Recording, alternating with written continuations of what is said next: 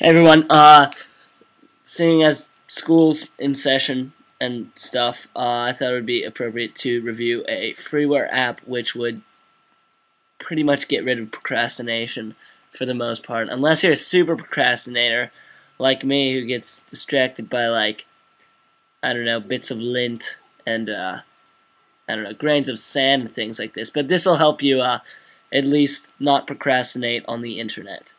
Like, this will help you not go on the internet and procrastinate there while you're like writing something.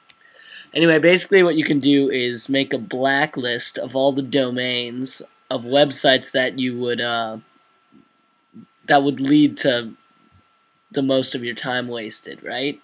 So what you can do is write down a list of all those and then set a time however long you're you want to be procrastination free for. And then you click on start, and now uh, if you go to, oh, you gotta type in your password. And then if you go to a web browser, my web browser of choice is Safari, actually. I don't, the new version is really good, actually. Anyway, so if you type in, like, Engadget, it won't let me go on. It will tell me that the page isn't there. You can't go to Facebook, and now it'll let you go on things like Wikipedia, just in case you have some need to go on a website that is related to whatever you're doing. Anyway, it's called Self Control. Um, let me give you a link. And uh, yeah,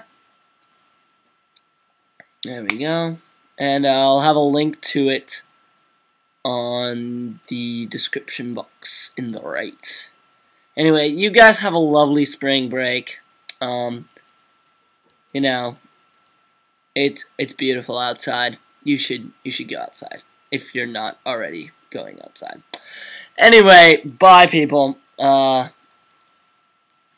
I'm always up for tutorial suggestions, even if I don't follow them necessarily. Uh, so yeah, bye.